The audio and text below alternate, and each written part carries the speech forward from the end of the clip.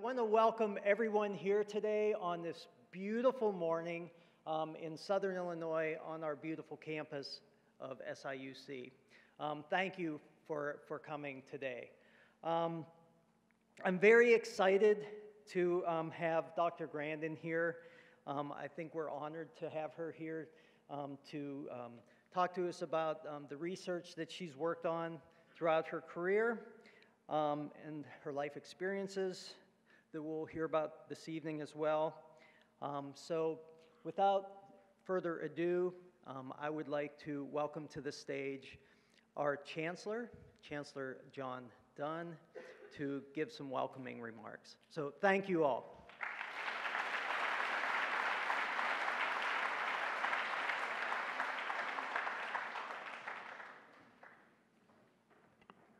Wow, what a great crowd. Good morning. One more time. Good morning. Thank you very, very much. What a special treat to have you here. Uh, it's my pleasure as the Chancellor of the University to welcome you, uh, to let you know that you uh, are home and that you are always welcome on this great, great university campus. I do want to special acknowledgement uh, to our teachers who are here with these students the work that you do each and every day to help promote, develop, mentor, and shape the future of our students, and how important these young people are to the future of the state of Illinois and the United States and the world. I also want to acknowledge we have a lot of faculty and staff here, as well as SIU Carbondale students, and thank you too for joining us this morning. Uh, we've already acknowledged Dr. Gil uh, but uh, I don't think it hurts to do that once again uh, because it's through good philanthropy. And Dr. Kronig knows this well, and his wife Jean. Uh, they give, they believe in, and they believe in you. And so, how about another nice round of applause for uh, Gil Kronig? Thank you, Gil.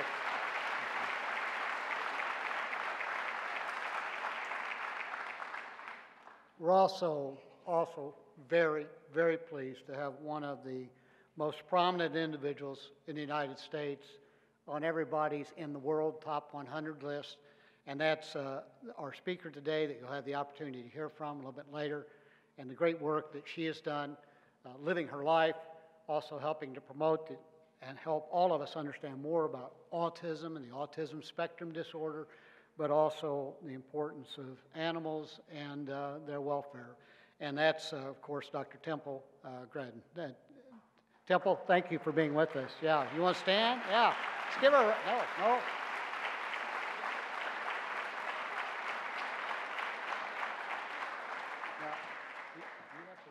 Oh, I have to wait? I yeah, yeah, no, no, no, no, I messed you up here, right. No, no, stay here though, stay here. All right. Yeah, that way we'll get more uh, stage time with uh, Dr. Grandin. So uh, I had a good idea there, right? Yeah, thank you. Uh, I do want to brag a little bit about our College of Agriculture. Um, we are a leaner, leader in many ways, but certainly in sustainable research.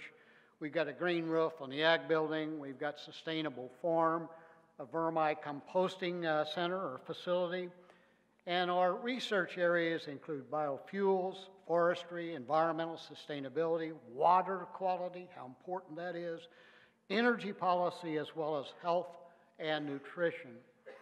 The campus itself, your campus, Southern Illinois University Carbondale, we have a silver ranking uh, from the sustainability tracking. That's an important assessment that universities engage in.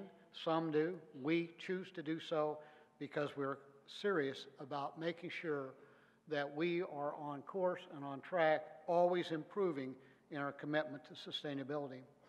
We're also a bicycle friendly uh, university that's anointed by the League of American Cyclists. And we're a Tree Campus USA, and that should be of no surprise to anyone that's ever been on this campus. If you want to identify the most beautiful campus in the state of Illinois, it's Southern Illinois University Carbondale. And our commitment to trees and making sure that our environment is conducive to good, good learning for all of us. And hands on learning opportunities. We've got 2,000 acres of university farms that we're thinking about each day, trying to figure out how to uh, that, uh, to enhance, improve, and we need uh, uh, to continue on that path. We have featuring crops and animal production, beef and equine centers, greenhouses and agrono- agronomic uh, uh, research centers, vast resources, the Shawnee National Forest. That, by the way, could be a good question to put on our next uh, Kahoot is how many, how many, how many national forests are there in the state of Illinois? Uno, right? One. Shawnee National Forest, right here, and you're part of that right now. And of course, in the College of Agricultural Sciences, access to specialized farming, including Southern Illinois, growing wine and fruit country. And I also want to say that students, uh, excellent faculty and staff here, people who care about you, who want to make sure that we do it right, that we understand that really it's about you. The institution is important, the college is important, but nothing's more important. The most important variable on any university campus, and certainly here, is the student. And we want to make sure that you're treated well, always treated right and respectfully, and that you get, uh, as you deserve, a great, great education. We ask you to please explore, think about us. You're always welcome to visit again. And if you ever want to make connection and you can't find any other way to do it, my email comes directly to me. I answer my own. I do it every day, jmdunn at siu.edu. J.M. Dunn, D-U-N-N, at siu.edu. So if you send me an email, I may not know uh, all the answers because I have limited capacity upstairs, but I will know where to go to make sure that you get the answer that you deserve. So just think about J.M. Dunn at siu.edu. And with that, I think we have another uh, presenter who's going to do an introduction uh, of our, uh, yes, thank you, you're here, do an introduction of our special guest today, and that's what the real program is about. Thank you.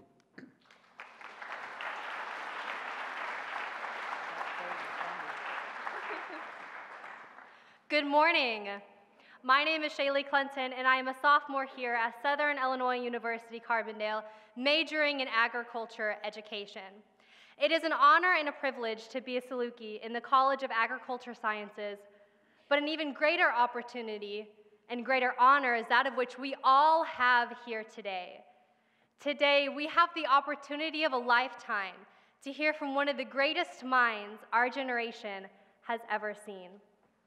A professor of animal science at Colorado State University, she has been a pioneer in improving livestock handling and welfare.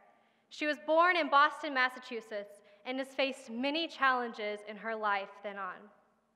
At age two, she had no speech and showed all signs of severe autism. In her teenage years, she faced constant bullying and teasing.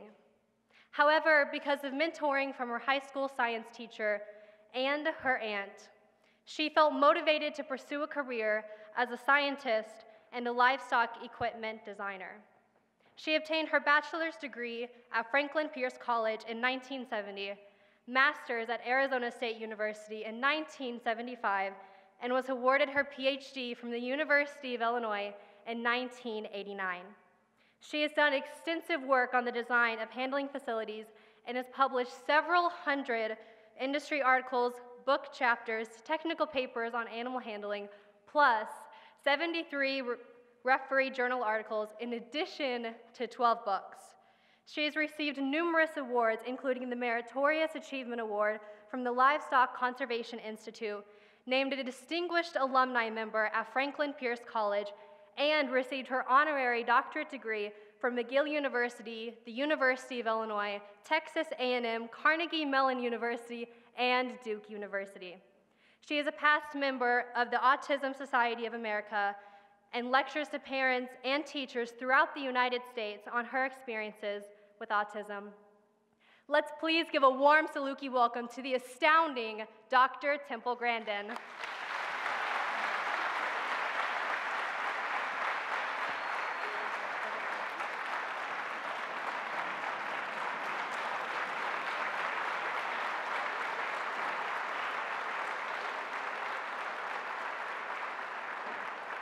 Well, it's great to be here. I didn't mean to walk up uh, too early.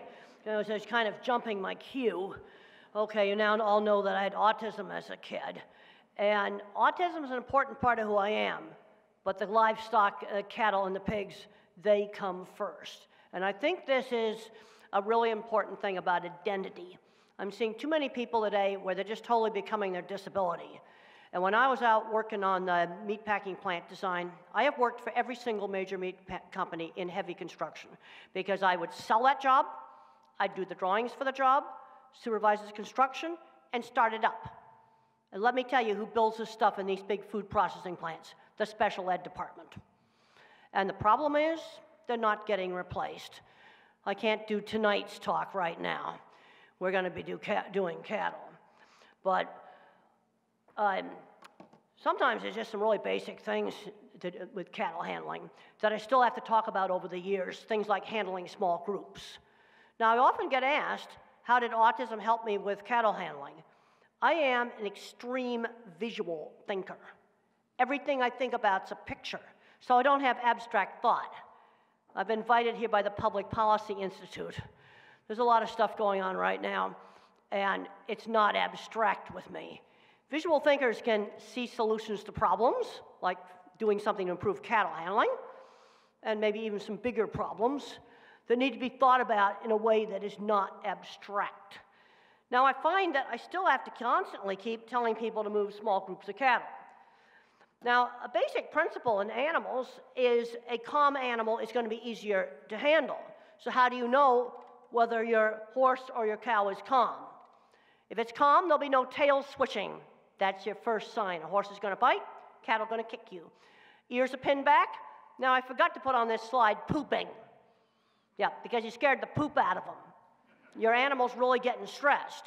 Now, fortunately, there's a lot of interest now in low stress cattle handling. But back when I started in the 70s, there wasn't. Also, being a woman in a man's industry in the 70s was a much bigger obstacle than uh, autism ever was.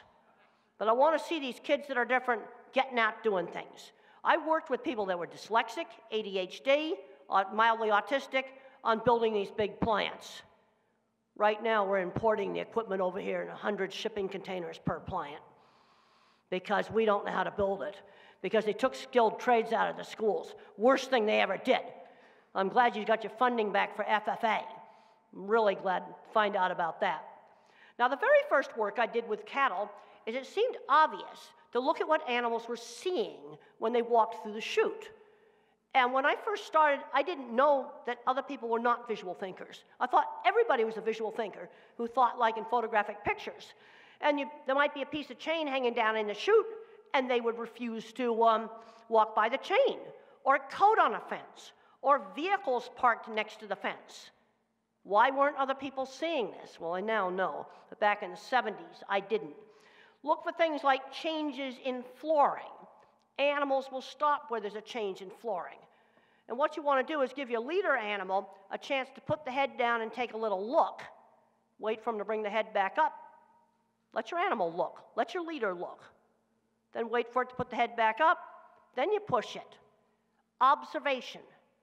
I want to teach you how to be better at observation. Observation is also a very important part of science. I used to fight with my old professor about that. He said the only thing that was science was a controlled experiment. And I go, What's the Hubble Space Telescope? Is the control pointing it at the ground? I don't know, maybe its ancestor was a spy satellite, so that's the control for the Hubble Space Telescope. Things like reflections on the wet floors, time of day effects. These are things that all affect how the animals move. Uh, they tend to move towards the light, but they won't go into blinding light. Get down in that chute and see what they're seeing. People thought that was crazy when I did that in the 70s. Completely, absolutely crazy. You can see people through the fence. You can see some shadows there. Now, how many people noticed, this is a test of observation, that those black and white cattle were not walking on the sunbeam? That's the kind of thing I want you to see. Now, if you saw it before I told you, raise your hand. Oh, no. You know what I'm afraid of? We've weeded out the visual thinkers because they can't do algebra. Visual thinkers cannot do algebra, but you need us. So, how did I manage to get through college without algebra? Because in 67, they had this special course called finite math, matrices, probability, and statistics. But we need visual thinkers. We got some big messes like the Boeing MAX airplane mess. That was a visual thinking mistake and a real obvious one. Now, there were other stuff they did wrong too, like not training pilots. But there was a very, very serious, very simple visual thinking mistake. There are certain problems that need to be solved visually. Now, we need our mathematicians too.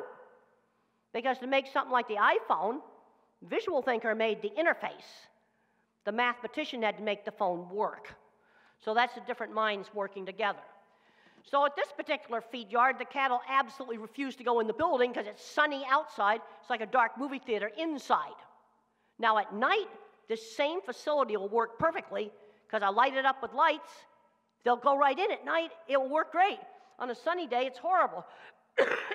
and what I got to do is get light, more light coming through the building. That will make it work. Now, this is one of the big slaughter plants that I worked with. And people always ask me, are the cows afraid of getting slaughtered? They're more afraid of the people standing where they shouldn't be standing. And you got the guy there with the aviator mirror sunglasses, super big eyes. That's going to make them stop. I have found that a paper towel going like this will about shut off a slaughter plant, a great big beef plant. It's what they see. And I found if I could control what they see, they just walk right in there. I've also got to make sure that people aren't yelling and screaming at cattle and getting them all upset. This next um, slide shows some of my uh, pictures of handling facilities. Now, the thing that people always ask me is, how did you sell yourself at jobs since people with autism are terrible at interviewing?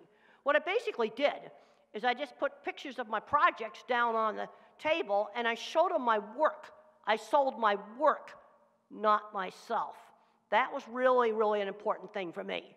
And when I showed them pictures, uh, they were impressed. And you might wonder why curved.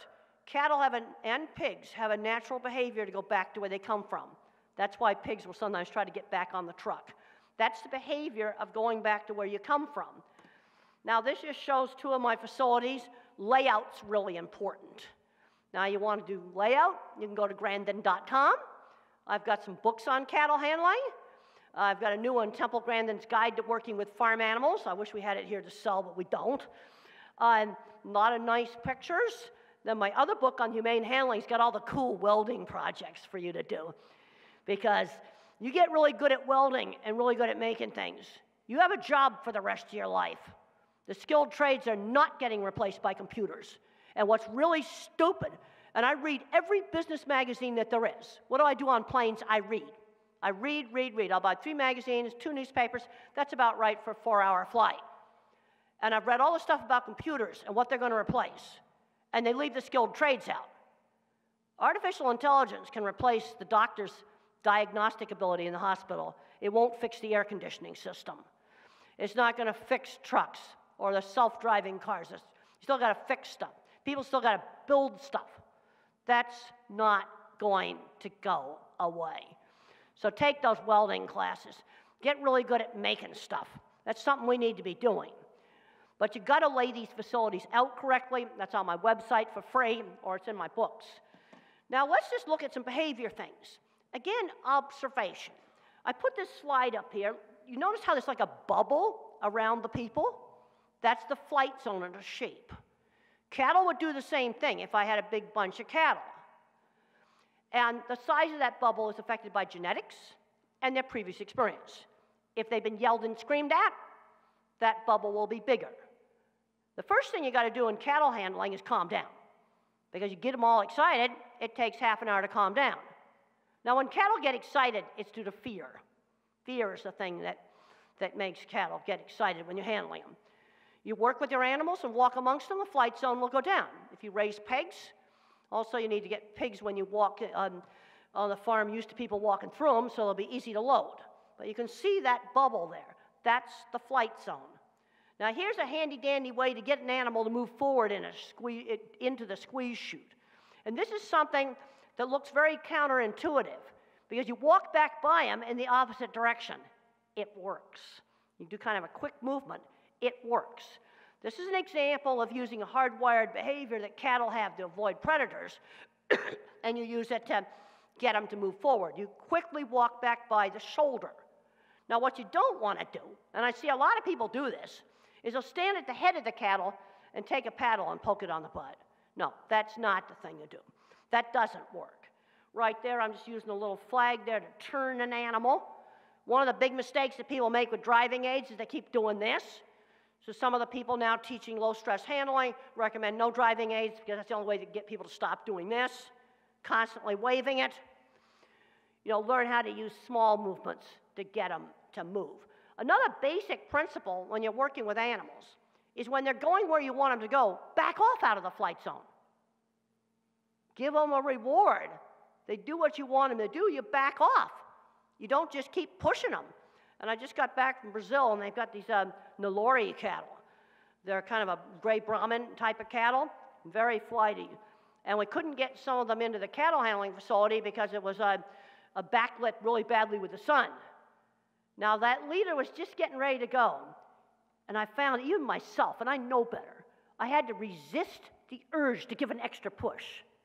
When that leader's just starting to go where I want him to go, this is when you back off a bit and you resist the urge to push. I wanted to push, I had to fight it. You see, to really do it right, you got to change some of your own natures. This shows correct amount of cattle put in a round crowd pen. Biggest mistake people make is they bring too many up at a time. They pack everything solid full of cattle, and then everybody just turns around. Total mess. What you want to do is wait until you got some space in your single file, then you just bring them on around, and they just keep on going. You don't pack the thing solid and let those cattle turn around. That's timing your bunches. And notice I'm not squashing them with the crowd gate. I just put it on the first notch. Now there's a really nice little simple cattle handling facility. We got a lot of people now using rented or leased ground, need to do cattle handling facilities out of portable panels. And then Temple Grandin's Guide to Working with Farm Animals. I've got um, lots of designs that will work with portable panels. And this one right here, instead of having all the catwalks, you just stand at the pivot of the gate and they'll come right around you. Come right around you, and you can set this up out of portable panels. Now, watch things like ear radar. Cattle and horses look at things with their ears. Where are they pointing it? Observation. What is it hearing? An animal lives in a sensory based world. You want to understand animals, get away from language. Got to totally get away from language. What is it hearing? Seeing. Now, smelling is important, but usually that's not so important for handling. Now, here are some behavioral principles of restraint. I can't emphasize enough non slip flooring. And the problem with flooring is it wears out slowly, and people don't realize it's wearing out. If you have a hydraulic squeeze chute, don't squeeze them too hard. If they move and you squeeze them, you're squeezing them too hard. If you calm your handling down, you can hold them in a manual squeeze chute just fine. Because you calm down everything you do in the back, then they come up a whole lot calmer. And I'm really sorry, I'm getting over bronchitis.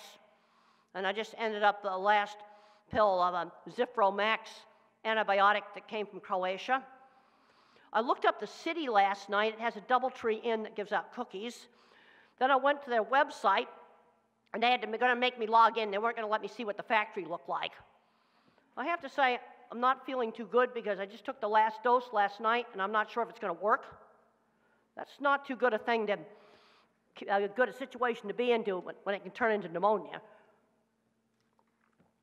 and I might have to get a cough drop if I keep coughing. The next slide was a work that we did on cattle temperament. This is 25 years ago now. And when we first started the idea of selecting cattle for temperament, that's a common thing now. But 25 years ago, it was considered kind of crazy. And my student, Bridget Voisinet, found that the animals that went berserk in the squeeze chute had lower weight gain. That was crazy, radical stuff. But the thing we got to be careful about is we could over-select for temperament. You know, you, if you make them too calm, maybe they won't take care of their calves. And this brings up a really important principle in genetics. If you over-select for any single trait, you will wreck your animal. period. When you go crazy selecting for carcass, this was done in pigs 30 years ago when I was at the University of Illinois. The lean line hybrids came in, and we got a crazy pig with horrendous foot and leg conformation collapsed ankles, crisscrossed, uh, you know, crooked legs, post legged, really bad. And 10 years ago, that started happening in Angus cattle, the same defects. And now the Angus Association has um, leg conformation EPDs. But be careful on over selecting for single traits. You've got the bulldog, that's an absolute total monstrosity that can't breathe and it can't walk. And it's, it's in the top 10 most popular dog breeds. I was horrified to read that. I think they're deformed freakazoids. Um, I don't think not being able to breathe and being able to walk is cute. Um, and the thing we got to be careful about on things like lameness is you can slip into it. I call it bad becoming normal. You get used to seeing them. Now, here's a visual way to look at genetic selection. And if an animal is a country, you got a national budget. If I put the whole national budget into the economy, okay, big carcass, let's say, then I shortchange infrastructure, bone, heart. We've got high altitude sickness in cattle coming down to lower levels. I shortchange reproduction. Look at the dairy cow. The other thing I may be shortchanging is my military. That is your immune function, your ability to fight off disease. Nothing is free in this world. So you've got the economy, you've got the infrastructure, and then you've got the military. And your wild type animal's got a big military, but it's not very productive. You see, there's always trade offs. People don't get it. There's an advantage to having been in the industry for 45 years. You know, three or four pig diseases came into being during my career that we were never seen to be a problem before. Now, the purpose of this slide is to show that when animals are forced to do something, you get a whole lot more stress, and that's going to be fear stress. And when animals voluntarily cooperate, then there's a lot less stress. And there's different kinds of stress. You have fear stress that happens during handling. Then you separate the cows from the calves. That's separation distress. That's actually a different emotional system in the brain. An animal's first experience with a new person, a new place, or a new piece of equipment should be good. So when you first introduce your horse to the horse trailer, let's make sure nothing goes wrong, like falling down and bashing their head. Because if that first experience is really bad, you might have a loading problem for quite a long time. If you put something novel down in a pen of feedlot cattle, they'll come up to it. Novelty is both scary and attractive. It's attractive when the animal can voluntarily approach, and it's scary when you shove it in their face. I don't know how many times people have said to me, Oh, my horse was fine at home and he went berserk at the show. Or my steer got loose and it ran down the midway. That is often the animal that is led too sheltered to life. Let's get them used to flags, bikes, and balloons before you go to the show. And the best way to do that is to decorate the pasture with flags and let your animal voluntarily approach. Don't shove it in their face. And the animal that's lived too sheltered a life, with maybe just one person taking care of it, has flighty genetics. That's the one that when it goes to the fair, it's going to go crazy. Now, the thing that can be scary is a sudden novel stimulus, like an umbrella suddenly opening. That's an example of a sudden novel stimulus. Now, this breed of horse is so tame that very calm that not much happens. See, this is where genetics interacts with environment. When you're really going to see that genetic temperament, that flighty horse or flighty cattle, is when you suddenly shove novelty in its face. That's when you're gonna, it's going to show its genetics. Now, animal memories are specific because they are sensory based. Animals differentiate between a man on the horse and a man on the ground. This is probably not going to be a problem here in Illinois, but out west, we've had some very serious accidents at meat plants because cattle met their first person on the ground at a meat plant. The man on the horse was familiar and safe, the man on the ground was scary and new. The flight zone like tripled in size, and they ran over a 50 year old lady, stepped on her head, and killed her. So it's really important that they get used to different ways of being moved. And if you habituate a horse, for example, to a blue and white umbrella, that doesn't transfer to a tarp. Umbrellas and tarps, they look totally different.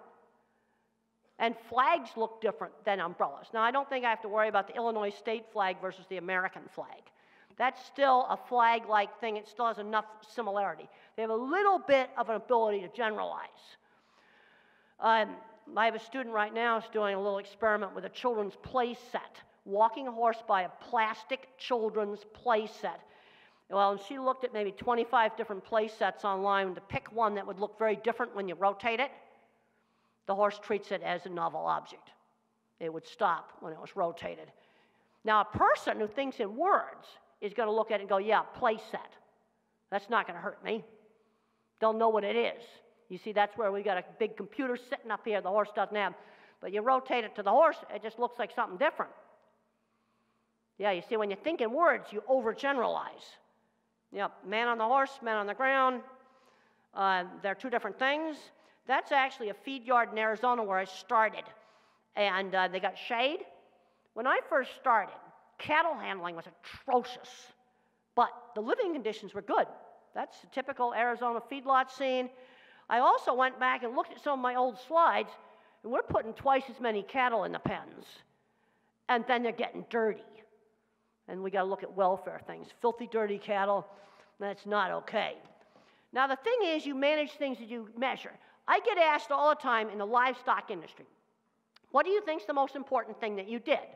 Now, my biggest, most important piece of equipment is a center track restrainer system. That is in all of the large beef plants. If you want to see it, you can look up Beef Plant Video Tour with Temple Grandin. There, there, I have journal articles online about it. And I put these systems in the big meat packing plants in the early 90s. But you know what was discouraging? Half my clients tore it up and wrecked it. That was very discouraging. Early in my career, I thought I could build self-managing cattle handling system. That's nonsense. It doesn't replace management.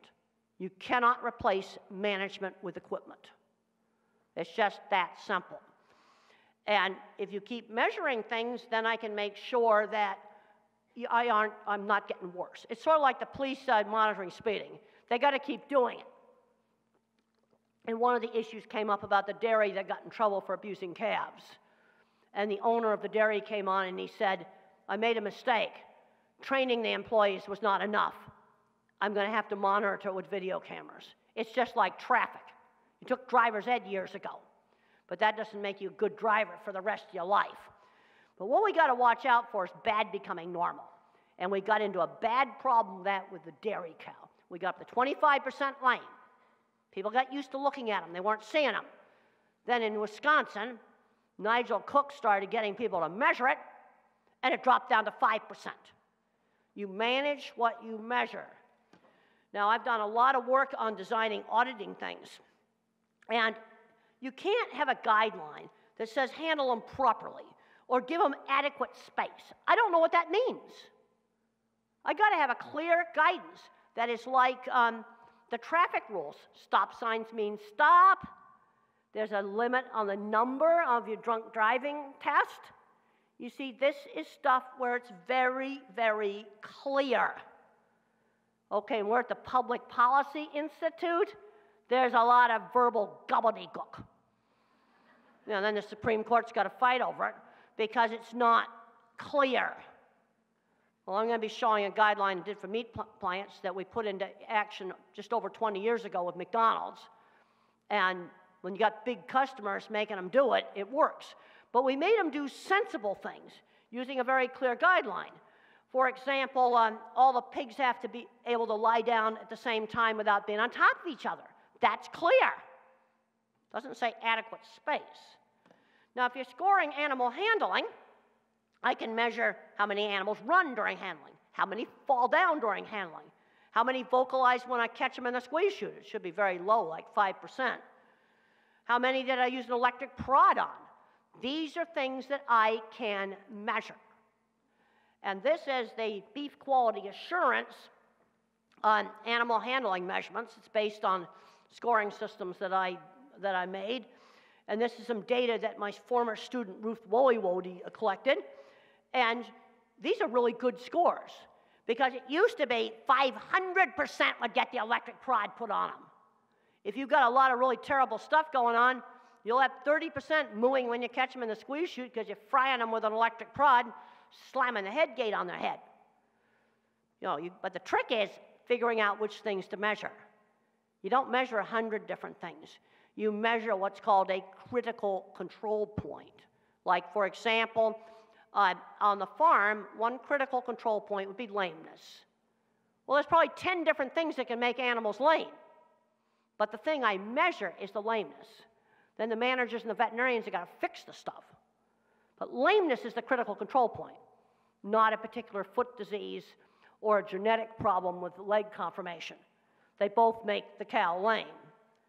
This is the American Meat Institute basic critical control points. These are the five things we measured in meat packing plants. And in 1999, I was hired by McDonald's to implement this. And I saw more change than I'd seen in my entire career prior to that. In fact, Bob Langert, the person I worked for at McDonald's, he has a book called The Battle to Do Good by Bob Langert. The Battle to Do Good. Think it's a book that ought to be in your public policy library. And I do not get any royalties from The Battle to Do Good because we did stuff that actually worked. So you measure how many animals did you stun correctly on the first shot. That's obvious. Everything better be dead before you cut it up. And then we measured the same handling things we measured before. But they're outcome variables. I'm not telling you how to build a plant. I am measuring outcomes. Okay, what am I going to do about the factory in Croatia? I'm already figuring out my, my system for $10 and $15 drugs and I'm going to have a really good quality assurance lab. And I'm not going to be so stupid as to pull the boxes off the top of the pallet where they put the good stuff on it. You see, I'm saying that. I'll know tomorrow whether or not this drug worked. And you better believe it, I'm concerned about this. And I'm concerned about antibiotic resistance. I am somebody that would have been dead long a time ago if antibiotics had not worked, starting with pneumonia at age six starting with a very scary uh, hemorrhagic urinary tract infection at the Chicago airport that was just scary beyond belief. I broke into the Cipro. I worked, thank goodness. Uh, okay, now the thing is, you have a good auditing program. What it needs to do is if I audit a plant, or you audit a plant, or you audit a plant, we get the same scores. That's what's called inter-observer reliability. Okay, if the police, two different policemen use the same radar device, or maybe it's a LIDAR device now, I've got to get modern on the technology, use the same piece of equipment to measure the speed, do you get scores that are almost the same? Inter-observer reliability. Are you going to give me a cough drop? Well, maybe I'm going to be bad and have a cough drop. Um, and if the drug works, we can thank the hardworking people in Croatia. And maybe when they have a wedding, their friends stay at the Doubletree Inn. I looked at that up last night. And eat those cookies they give out at the Doubletree Inn. You see, that is visual thinking. I looked up some pretty places to visit in the, in the, capital city of uh, in Croatia. They've got some nice places to visit. I just hope their factory's got some decent quality control because I, I, feel, I don't feel all that good right now. Now, I have a reason to be concerned about this. This is stuff that's real. You see, when you're a visual thinker, nothing's abstract, nothing's ideology. It's real. Let's talk about healthcare. People rationing insulin and dying because they cannot afford to buy insulin. Yeah, I don't think about it abstractly. Now, in 1996, I collected baseline data for the US Department of Agriculture on stunning. It was disgusting. Only 30% of the plants could shoot 95% dead on the first shot because the stunner was broken. Broken. That is management. Then we got a big company like McDonald's and Wendy's getting after them. You're going to see change. Now, the good news is, is that out of 75 suppliers. only three had to build expensive stuff. We did a whole lot of non slip flooring, we did a lot of stuff with lighting and with solid panels and training people. The other thing that was interesting was taking the executives from McDonald's, Wendy's, and Burger King and other country, companies on their first trips to farms and slaughter plants. And I saw reactions just like that show, Undercover Boss. I saw those exact same reactions. I'll never forget when the uh, head of one of the McDonald's people saw a decrepit, half dead dairy cow go into their product. And they go, Yeah, we got to do something. I watched animal welfare go from an abstraction that you give to the legal department, you give it to the public relations department, you waste a lot of money on lawsuits suing an activist group, go to something real. But the good news, I'm really proud of the fact, is that we didn't have to rebuild the plants. We mainly had to repair them, do simple changes, and make people manage the plants. We also had to get rid of three plant managers. Managerectomy. And the principle here is figuring out what are the critical control points. A good critical control point will locate a multiple problems. Lameness is a really good example. There's 10 different things that make cattle or pigs lame. The critical control point's lameness, not the leg conformation. Okay, I have to correct the leg conformation. Or they've got a hoof disease. Or they are, um, I've been fed so much grain and they messed them up. You know, those would all be things that could make them lame. Or the dairy cow's stall is too small and she's tearing up her hocks on the concrete. Now, as I say each one of these things, I see it. Hazard analysis critical control points, food safety concept. It's directly observable. It's not a paperwork audit. I'm not big on paperwork audits. I've caught everybody how to cheat records, how to cheat. You ought to look at the stuff on Pacific Gas and Electric. Yeah, burned up a whole town because they didn't keep trees off of power lines. They were masters of fake records, too. Big full page spread in the Wall Street Journal. I can then also measure how um, handling improved when I made a simple change, such as stopping air blowing out through the entrance of the chute. And I change it, and then I can measure vocalization and prod score before and after when I make a simple change. Or I change the lighting. The pigs are now willing to go into the chute because I duct taped the light to the chute. This is my um, center track restrainer system right here. And one of the things I had to do is deal with what's called the visual cliff effect. This whole apparatus was seven feet off the floor. And you don't want the cattle looking down going, ah, it's a cliff. Because animals can see the visual cliff effect. So what this is the old apparatus for testing the visual cliff effect in animals and in babies. They will not walk out over a piece of glass, sort of like the sky bridge at the Grand Canyon, where you can see the cliff underneath. So I put in a false floor that would be about six inches below their feet. So as they went in, it gave the illusion of a floor to walk on. And then plants would take it off because they didn't want to clean it, and then it wouldn't work. So then I'd have to go back there and put it back on again because they couldn't see why that piece of metal had to be there. Now, here's situations where I reduced vocalization, doing simple things.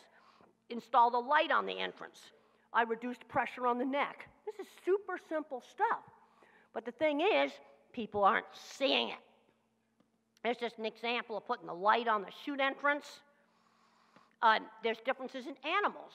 Some animals are much easier to handle than other animals. You can have leg conformation problems. You can have feed additives. You gave them too many feed additives. Uh, nobody ever walked in the pens. I'll never forget the one pig plant I went to 10 years ago. And they had to have five or six full time people to handle all the down non ambulatory pigs. It was just disgusting. Then we made three changes. We made the producers walk the pens because a finishing pig differentiates between a person in the alley and a person actually in their pen. You got to go in the pens, walk around, get them used to moving away from you. And then we reduced the ractopamine use. We didn't ban it, but we reduced it. And the other thing, uh, uh, the other thing they did is they got rid of a genetic borderline that had really awful leg conformation. And then they went down to half a person handling downers. And the problem had to be fixed at the farm, not at the plant. The, wasn't the plant was not causing it. Now, there's kind of three types of variables. And the trend now is to go more towards animal based outcome guidelines, like I'm going to measure skinny dairy cows, lame dairy cows. Then you have some practices that we just don't allow. Because what you got to remember is you cannot escape this thing here. You don't want to get photographed, you know, beating pigs up with a gate rod or something like that. And not so many engineering variables. Now, there are some exceptions to this, uh, especially in pigs and in laying hens, where some of the housing systems have to be changed. That is a input variable. But this is just an example here of um, animal-based outcome measures, body condition, uh, lameness, dirty animals, injuries like swollen hocks on dairy cattle because the stalls are too small, coat condition. Okay, organic people, lice in the spring is not okay. We're going to evaluate that. High ammonia levels, that actually is an input measure because I don't want to do the outcome because damaged eyes is like too nasty. Let's get it down to 10 parts per million. And then abnormal behaviors, much more of an issue with pigs than it would be with cattle. Now, lameness, again, I said, look at all the different stuff that can make them lame. And then here's some practices of, that things that in some systems now, sow gestation stalls, that's a really controversial issue. Docking dairy cows. I think on everything we do, if you bring 10 people out from the O'Hare Airport, what would they think? Sow stalls, it doesn't fly with the public, period. That's come up on every survey. It came up with a survey I did, a little informal survey I did years ago on the airlines. Um, you know, we still need to do some space requirement, you know, input measures. And then I get to my last slide, and now we got plenty of time for questions. And if nobody raises their hand, I'm just going to come down and pick somebody. And I know, uh, you know, you know, a lot of people are bashful about asking questions. And you can ask questions about autism. You can ask questions about animals. But I want to tell you, you young people in the future, you're the future. And if you get into policy petitions, you better get your butt out of the office and find out what's going on in the field. You can read this stuff about Pacific Gas and Electric. They became masters at gaming their own computer system. I know people have gotten masters at faking electronic feed records, where they're doing stuff with feed they shouldn't be doing, and they have FDA approved records and they're all fake. I had someone teach me how to do that. I'm not going to teach you guys how to do that. That's the kind of stuff you got to make sure is not going on. By getting out of the office, getting out in the field, you get in charge of stuff when you grow up.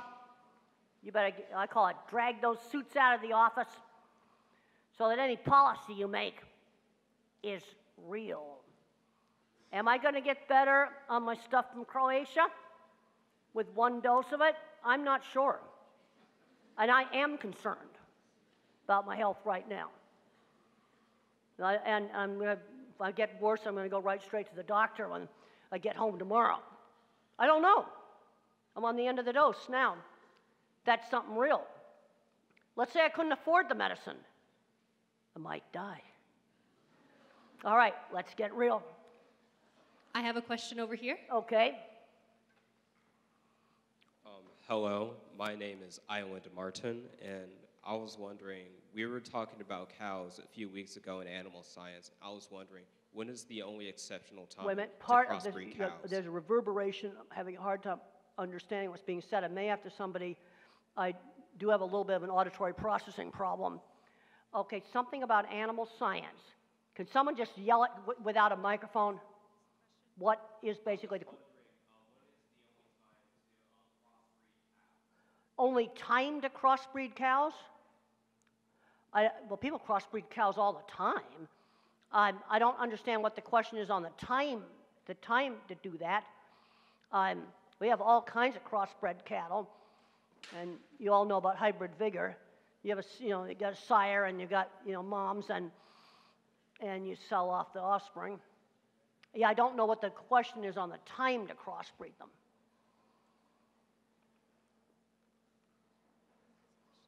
Yeah, maybe. Um, yeah, I'm sorry, I really don't know how to answer that. Let's get another question. Yeah, I got a question over here.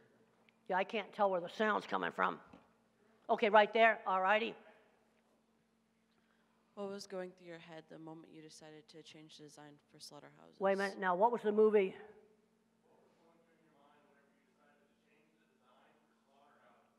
Well, okay, first of all, I didn't just change everything overnight.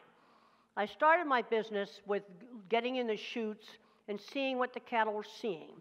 Then I did my master's thesis on different squeeze chute designs that already existed and seeing how that affected cattle behavior. And I saw that there were some differences. And then I got the opportunity to do those big dip vat projects.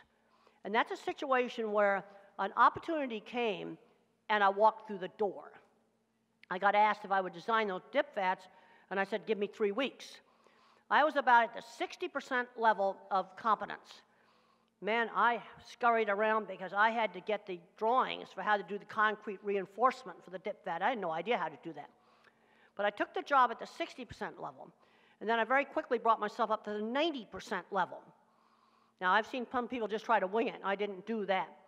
But when these opportunities come up, that door opens for like five seconds. Then you got to have the guts to walk through it. Another reason why I'm talking about writing writing was an important part of my career. And in the HBO movie, I walked up to the editor and I got his card, and then I started writing for the magazine. My writing had been terrible. Um, I wouldn't be writing for magazines. You know, it's, it's that simple. So I started out, you know, one little project at a time, and I found that selling equipment was a whole lot easier than getting people to actually operate it correctly. That was kind of a shock for me. And I was very, we put these restrainers in, early 90s. Uh, some of my clients did, were okay on how they operated, but half my clients would break the hydraulics on it and not fix it and like abuse cattle in it. And the thing that really changed things was the McDonald's era. In six months, I saw more change than I'd seen in my whole entire career 25 years prior to that, simply by repairs of equipment. And we took some old shabby plants and we made them work. And then we had three places that were hopeless and we had to remodel them, expensive. But my, I went from an engineering mentality where I thought I could do everything with engineering to much more of a management uh, mentality. But my business started out one little thing at a time. I was always a freelancer. And you build up the business. And then I wrote about the projects. You see, and that was a very important thing in my career. And right now, today, I'm seeing some really awful writing skills. We got graduate students right now where I have to copy edit and correct their papers. They, they need to be taught things that you guys need to be learning right now. Found out they never wrote book reports when they were kids, where you have to summarize a book and then critique it, and then have it all marked, paper marked up, and a, and a teacher puts red marks all over it, and then you go back and correct the grammar. That's how I learned how to write. Near government policy, you're going to need to how, know how to write clearly, without you know gobbledygook talk. Dr. Grandin, Yep. I am in the back near the camera. You okay? Uh, I have another question for you. As someone with Asperger's and autism, how would you recommend someone to proceed with their aspirations uh, as young as 20 or younger? And uh, how would you recommend it for them to proceed if, if, let's say, their aspirations is computers? How would you recommend someone like that? What I recommend doing with Asperger kid that's in his 20s? I'm in my 20s. I'm actually Okay, so 20. you got Asperger's right now? yes, ma'am. Well, they're still going to need people to run cameras and work in TV stations. Yes, ma'am. That's something that, that um, you know, that's a decent career. You're always going to need photographers. Um, and I think it's really good that you've got a job now running the camera. Because one of the big problems I'm seeing now with young Asperger students, I'm seeing them graduate with honors from high school, graduate honors from college, and lose it in the workplace because they never had jobs. And then the other big issue I hope you know how to drive. Good, because that's another issue. See, there's multitasking problems in Asperger's. And so learning to drive is going to take longer. I did 200 miles on dirt roads before I did any traffic. Let's spend more time learning how to operate the car. But the biggest problem I'm seeing with smart Asperger kids is not learning work skills. For students that are in the pipeline right now, I want two real summer jobs successfully completed before they graduate. And we do have to be careful about multitasking because the way the autistic mind is, you got the Amazon cloud back here, but you're accessing it through a one bar phone or through a dial up. And so multitasking is hard. So, super crazy busy McDonald's would not be a very good first job choice. Also, any job that requires sequence, like, okay, setting up your camera, the thing that would help you on that is a pilot's checklist.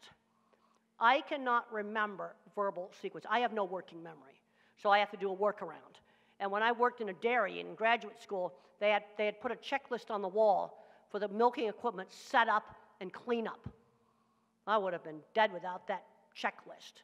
Those are simple things that you can do. Now, originally, I was going to be an experimental psychologist. And when I was in college, that's what I was studying. If someone said I'd be designing slaughterhouses, I would have said, You're crazy. So sometimes careers can take turns. But my psychology work helped me in my cattle behavior work. This also shows the importance of cross disciplinary. So, okay, in your situation, you're, do you like TV station stuff? Well, then go into that field then. Go do it. Go for it.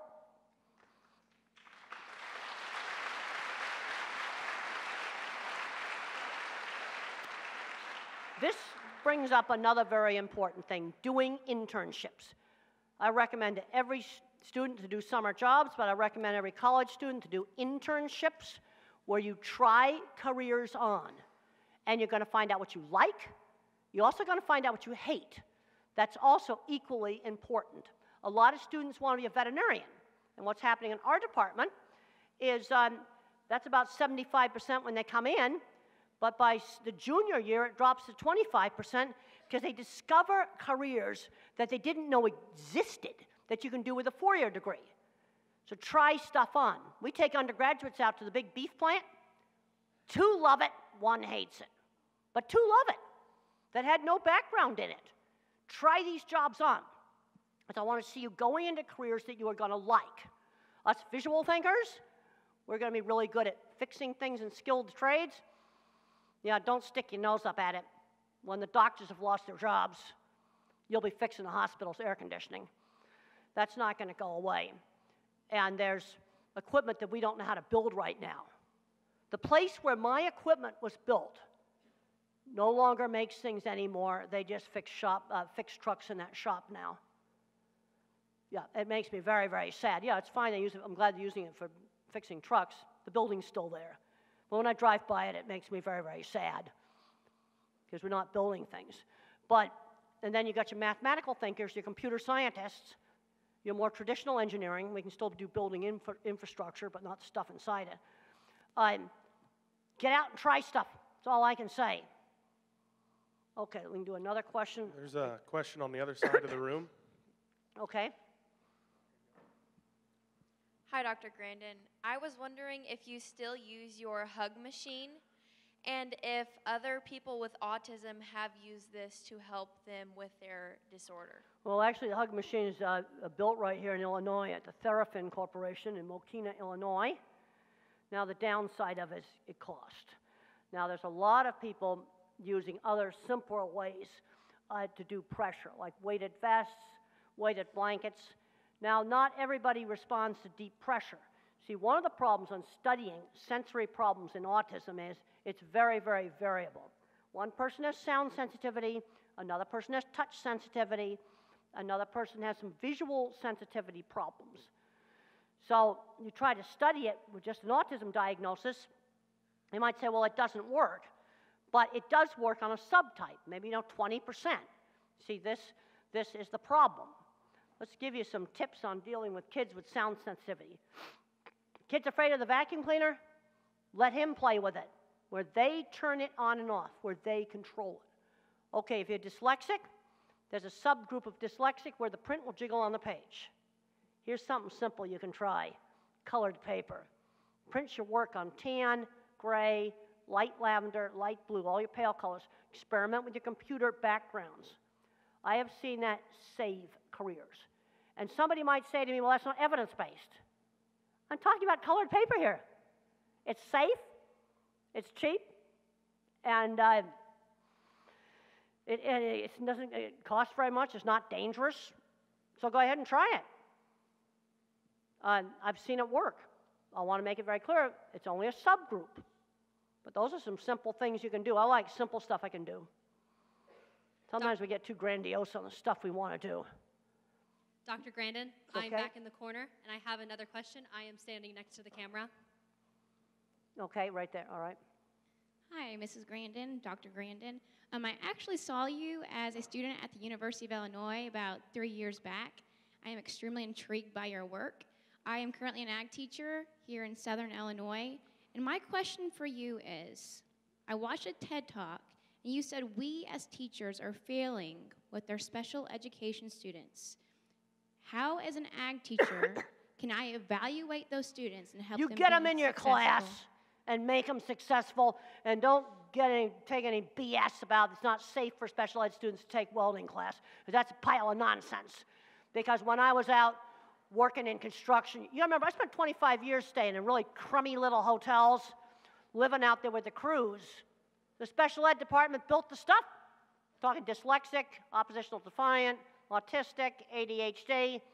Get them in your class and make them successful and make them get them doing all kinds of things. So I That's had, what you do. I had an autistic student in my eighth grade ag construction class. How can I make him not afraid of using power tools? All right, let's okay, let's start with easy ones like little small electric drill. We start with that. And maybe we start with um, two, two little small power tools and you can choose. It's always good to give a choice. See, mother said to me uh, when I was afraid to go to my aunt's ranch, and if I had not gone to my aunt's ranch, I would not be here now because that's where I got exposed to beef cattle. She gave me a choice. I could go all summer or I could go for a week. Not going wasn't one of the choices. Well, maybe give him a choice of two little power tools so he can pick the one he tries first. No, but you are going to try one. I would start, you know, small electric drill, probably, you know, one of them. Uh, uh, and he's already used a hand drill. Then you try the small electric one. And then have like a soft pine board, something that'd be easy to drill. You see, now as I'm ta- talking to you about this, I'm actually seeing it. I'm actually seeing the tool, and then I was thinking about something easy to drill. No, and, and I'd let them have a choice. No, we are going to try it. You see, there's a tendency to not stretch these kids. You have to stretch. We don't chuck them in the deep end of the pool. Like, take for first job, super crazy busy McDonald's. That's throwing in the deep end of the pool. You know, big scary uh, power tool, we don't start there. But we have to stretch. And if we don't stretch just outside their comfort zone, they won't develop. Stretch and give choices. This is my last question for you. On the same boy, I gave them a, a project. They could pick any project they wanted to do in the shop. He picked a shelf. When he was doing the shelf, it had to be exactly like the picture. Would that be a visual autistic quality? Well, they, they visual thinkers are often very good at drawing. And when they do get over their fear of power tools, this is the kid that can build anything out of metal. That we need him to make, you know, the next, you know, farm uh, uh, implements. I mean, take something like the round baler, for example. You know, you used to just shove hay in a square box, and now you're going to wind it up. You see, that's, that's a totally new idea. That's the kind of ideas that visual thinkers uh, often make up. Also, what's he good at? If, he's failing algebra, he's probably a visual thinker. He loved to paint. Now, I've- what kind of painting? Uh, just uh, Like whenever um, he made the shelf, which to his, I had to help him, but it seemed like he was satisfied with it. good. He had to paint it a certain way, and it had to be all white. But he was really good at getting all the crevices and everything. Well, that's good. And then we gradually go to more complicated projects than making shelves. My first woodworking project was in fifth grade, was a violin plant stool, where he took a little piece of a thin quarter inch pine, cut out, used the coping saw, and I've got a book called Calling All Minds, which is my childhood projects. And the purpose of the project was to teach you how to use the little coping saw to, you know, to cut things out. And then you gradually go on to other projects. And you don't know until you expose them. Um, is his reading level at grade level?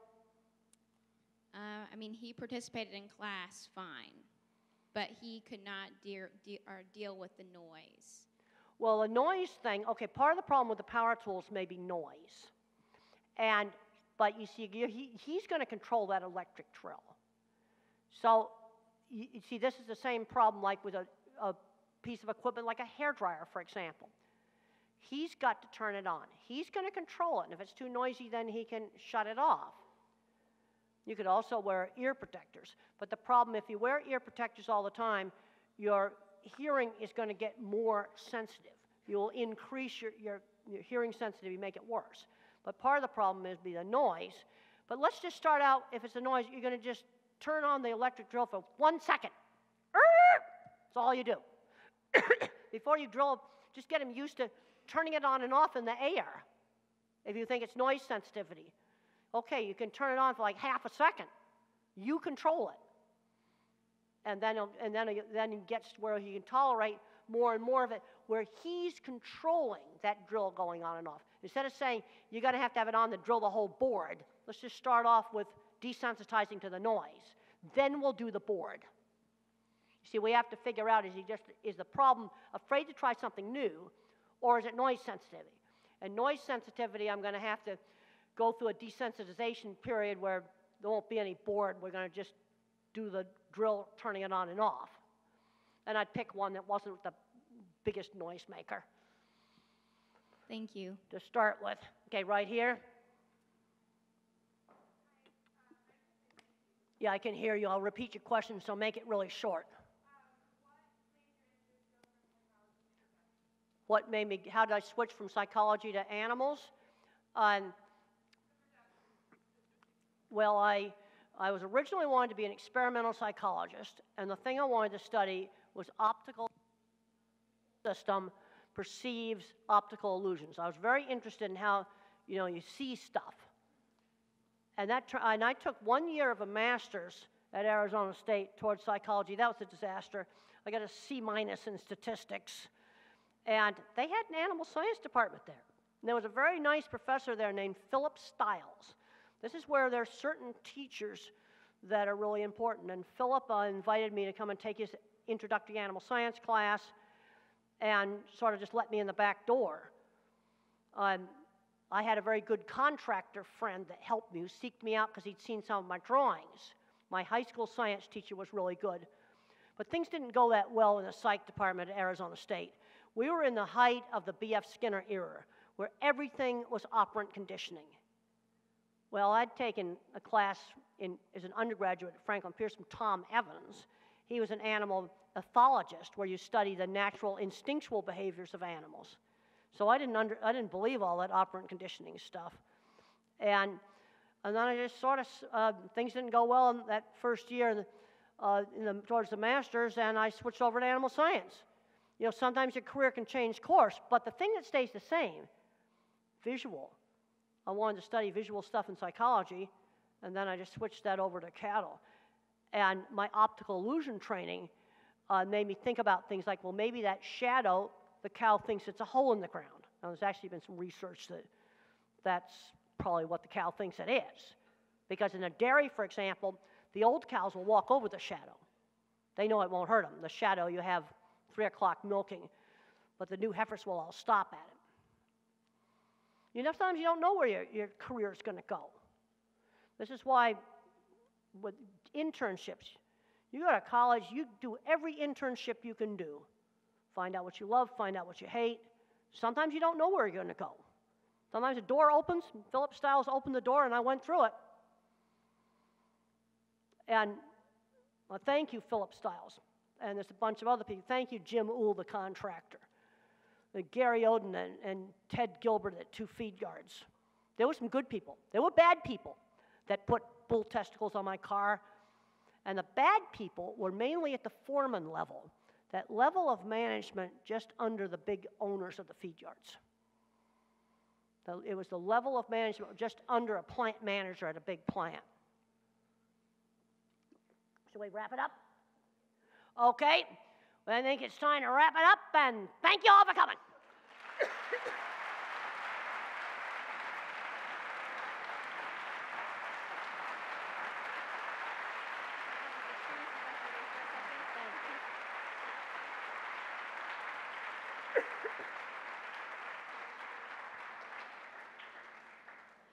Dr. Grandin, thank you for coming to speak to us today, and thank you for all the work that you do for the agriculture industry and those affected by autism. On behalf of SIU Carbondale and the College of Agricultural Sciences, I'd like to present to you this Saluki as a small oh, token of our And appreciation. I found out what a saluki was today, 'cause I didn't know what it was.